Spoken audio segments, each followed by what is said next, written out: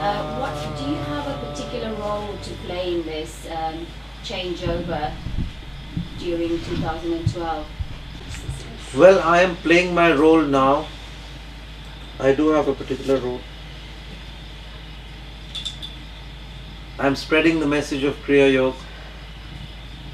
I am teaching you Kriya Yoga to evolve your consciousness to calm your mind, soothe your nerves, and enable you to evolve yourself more rapidly.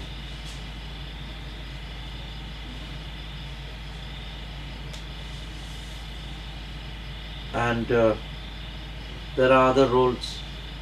Whatever role God gives us to play, we will play.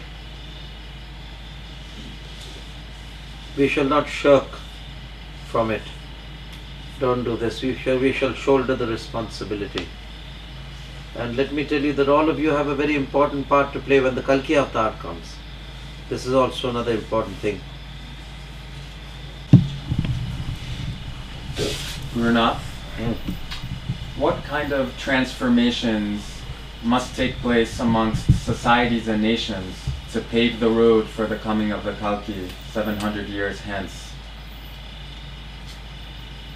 The type of transformation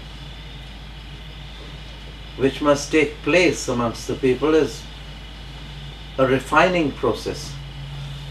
We refine our faculties.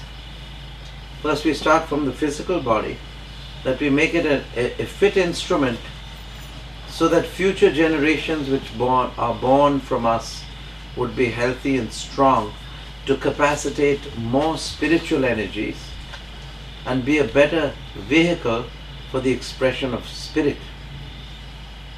And therefore, by the constant meditation, by the improvement of our body, mind, and spirit and our vital fluids, we are to bring forth better and better progeny so that they can capacitate the Spirit of God to enable to serve God better. That would be at the level of the physical body. The emotional body would also be refined to capacitate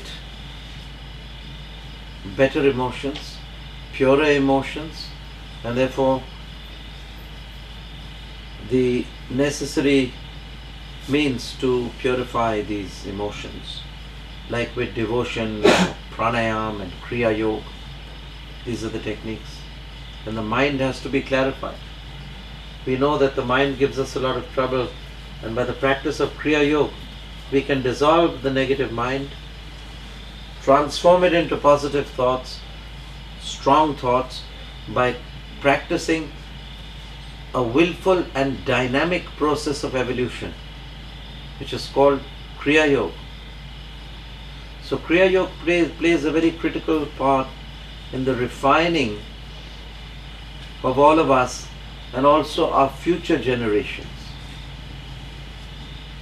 Kriya Yoga, if practiced in the Sushumna Nadi of the spine, can evolve the human race, can refine the human race to bring about a better we, to bring about a better people in the future. And this is one of the main factors.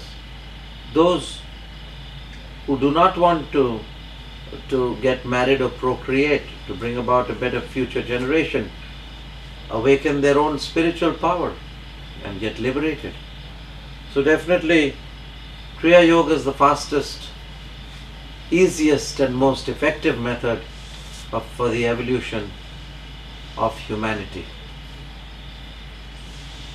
These are the improvements which take place and what you must do besides Kriya Yoga is a sharing and caring for others when you have time left after the practice of Kriya Yoga. Because Kriya Yoga usually handles everything physical, emotional, mental, and spiritual things. It is perfect.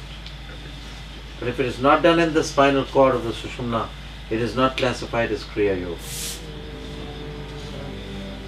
Ah.